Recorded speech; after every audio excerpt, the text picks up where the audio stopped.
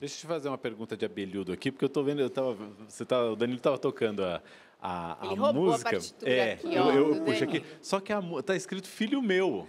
Você mudou o nome da, da, Não, da música? o, Você- o nome da música é Cartilha. Aqui, ó. Só que o, o meu produtor, o, o Prateado, o pai desse senhor, é, queria que o nome da música fosse Filho Meu. Mas eu, eu acho que Cartilha tem, tem mais a ver com essa coisa do, do, do, do filho entender é, os mandamentos de uma família, como funciona né, as regras de uma família, e ser o que ele quiser. Ah, O prateado que me perdoe, mas eu gostei mais Gostou de, de cartilha, também? também. Então, aí, tá vendo? Ganhei, ganhei Gostei essa mais aí. Peraí, peraí, cartilha. peraí. Acho que eu vou levar essa aqui para casa. Quanto vai valer essa partitura? Isso, a um tempo, hein, se Deus quiser. É, vai, vai valer sim, porque é uma música. Eu acho que ela já alcançou o que eu queria, que é passar a mensagem para o meu filho, para a minha família, para os meus familiares.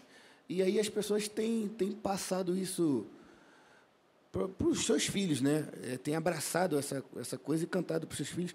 O Diogo Nogueira já está doido para gravar, me pediu autorização para cantar para o filho dele. E acho Aí, que João. isso é que é o mais bacana. Eu acho que isso é que é o mais legal.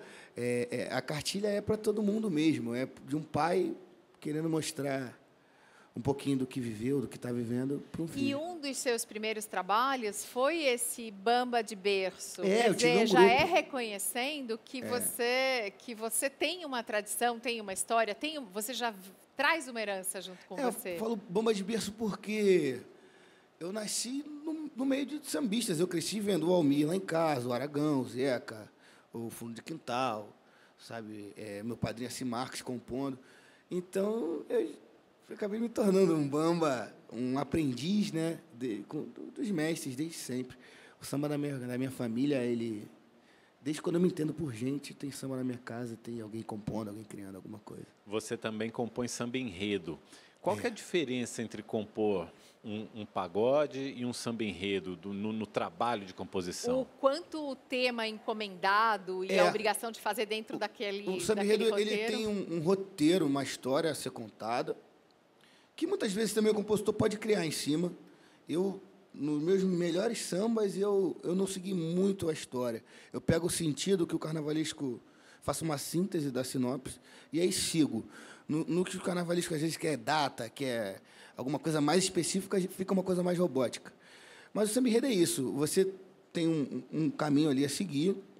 Você pode criar, mas em cima de um. De um Cara, mete uma entender data que a tipo- escola tem que desfilar. Tipo, o samba enredo da Revolução 1800 e- Francesa, é. 1789. Que E aí é? vai. Tem que... Nove ainda é- e quatro para rimar. Algum- Não, Ah, é, um eu- número eu, que nunca coloquei data. Eu nunca coloquei data nos meus sambas. Tô pensando, é, eu nunca coloquei data. Mas tem alguns que, que já colocaram. Imperatriz falou com dia 22 de abril, quando ele avistou, se encantou. E alguns, alguns compositores usam. Eu, eu prefiro não ser tão detalhista e poetizar um pouco mais. E tem dado certo. Eu já O que, que você admira numa composição alheia? Vai, uma- um outro compositor fez uma música.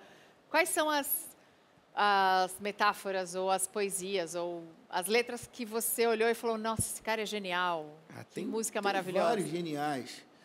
Eu acho que quando o compositor consegue ter o poder de síntese, às vezes em uma frase ele dá vários sentidos, usar o duplo sentido. Meu pai tem um samba. é, Se você me der a mão, pode dar pé. Sabe? Então, é, é, é, usar sempre um, um duplo sentido, eu acho que é uma coisa bem interessante, assim. Ou quando você pega uma coisa super moderna que está acontecendo, tipo, é, WhatsAppei, WhatsAppei para ela, e ela nem hashtag para mim. Eu acho que é isso, eu acho que o sambista ele tem o dever de ser o cronista da sociedade. De se manter atual e se de manter falar atual, sobre de falar que... das coisas que estão acontecendo, é, desacelerando alguns processos. WhatsAppei, WhatsAppei pra ela, Coisa de ela, Arlindo nem, Cruz. ela nem hashtag para mim. E ela eu nem acho- hashtag para mim. Eu acho incrível, meu filho era pequeno, eu fui mostrar Chico Buarque para ele, ele falou, não tô gostando, mãe. Eu falei, você fica quieto e ouve e respeita um cara que fez uma música, escreve e botou paralelepípedo na letra. É verdade. Aí ele, é ele um. aprendeu a gostar depois, claro, mas era muito pequeno, eu já estava enfiando no Chico Buarque. Mas assim, eu fico encantada de ver como alguém consegue criar algumas coisas Djavan é outro que eu falo, uau, de onde ele tirou isso? Como ele enfiou isso aqui? Eu É, o Djavan ele tem o poder da minha filha ser fã, de ouvir chorar, assim, né? E aí a minha avó também é fã do Djavan.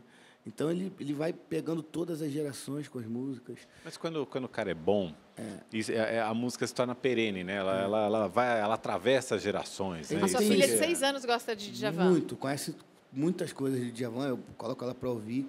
O, esse disco novo mesmo do Djavan, o, o Vesúvio, ele, ele fala do, de, de várias, retrata vários problemas sociais do nosso Brasil com toda a inteligência e delicadeza dele. Ele que também é um sambista, mas ele é de, todos os gêneros. Ele tem essa preocupação É. de ser um cronista social. Porque eu acho que tem, com tem, carinho. essa, tem essa, esse jogo que é o seguinte: é, o- a pessoa tem que se manter atualizada, tem que ser um cronista, mas ao mesmo tempo fazer com que isso dure ao longo do tempo, com que a obra dure ao longo do tempo, com aquela verdade que É. E era, que- que era legal num tempo passe a ser legal também no, outro, futuro. e, é. e que marque, né? Assim como, sei lá, o Donga marcou a, a existência do telefone, né? O carro da o chefe da polícia pelo telefone mandou avisar. Aí você marca que ali foi quando no Brasil passou a ter aquele aparelho de telefone em casa. Eu acho isso bem bacana. E depois vai passando pelo celular, mandei uma mensagem para ela. Isso vai marcando os momentos que a sociedade vai vivendo. Nossa, dá para fazer uma peça de teatro. Não, eu, eu tenho eu tenho isso assim, Só esse sonho. É. de- de- a- os fazer uma sambas linha do tempo com o com samba. sambas. E com- Sim, sem essas dúvida. coisas viram tanta, tanta, tanta referência Como a sociedade quando, foi mudando e o samba foi retratando ela. Quando a internet começou a chegar ao Brasil, o Gil lançou uma música que ele usava pelo telefone site, como base para essa música. homepage, Exatamente. é. É isso. Vira referência. Vira referência assim. Eu fui a um show do Ney Mato Grosso que ele cantava Ela me trocara por um Blackberry. Sim. eu adorei. Eu, eu, eu- pô, eu penso numa peça realmente ser a sociedade se modificando e a trilha sendo o samba, porque realmente é, assim como a- passou a, a ser a voz da favela, né? O morro não tem vez, o que ele fez já foi. Hoje a voz da favela não é o funk? Ou também o rap? é também, Também. mas o samba também, né? A gente tem o Entenda esse mundo complexo, favela é minha raiz. Sem rumo, sem tiro, sem nexo, ainda feliz, muito feliz. Nem toda maldade humana está em quem porta um fuzil. Tem gente de terno e gravata matando o Brasil. Arlindo Cruz também.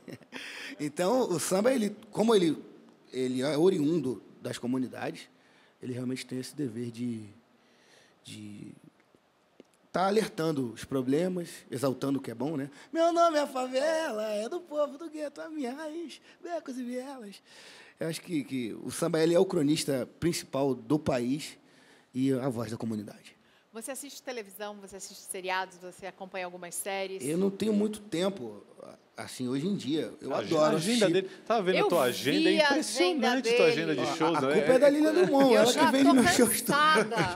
Tem- Eu É tenho todo mais show dia. que dia tem mês. Eu vi a sua agenda e falei, como é mais- tem mês possível? que Não tem mais show que para. dia. É verdade. Isso é muito bom, Deus que É, abençoe. graças a Deus, eu- com essa, né, esse momento complicado que o país vive, é, o samba passando por uma reestruturação, eu estou conseguindo viver né, da que minha tipo arte, de cantar. reestruturação o samba está passando? Ah, uma reformulação de, de vieram aquele movimento do cacique muito pesado com o Aragão, Zeca, meu pai, Bete, Alcione, Fundo de Quintal. E aí eles estão envelhecendo, muitos já se foram, né? Almig Neto, Neuci. E, e aí vem, vem surgindo filhos desses sambistas, ou sambistas que não têm pais sambistas, mas que estão tentando criar um novo movimento, né? Vamos de música?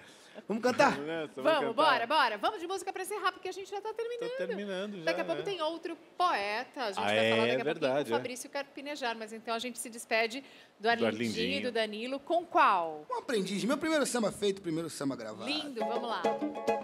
Pra quem dá a volta por cima na vida. Mas eu vou volta por cima. A dor muitas vezes ensina. Vai meu samba pra ela dizer que eu sou bom aprendiz e ainda posso ser muito feliz. Mas eu vou, mas eu vou dar a volta por cima. A dor, a dor muitas vezes ensina. Vai meu samba pra ela dizer eu sou bom aprendiz e ainda posso ser muito feliz. Ah. A gente volta com Fabrício Carpinejar.